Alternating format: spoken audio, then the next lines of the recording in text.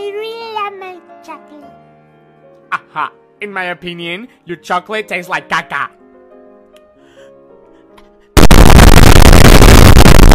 no one touched my, my chocolate!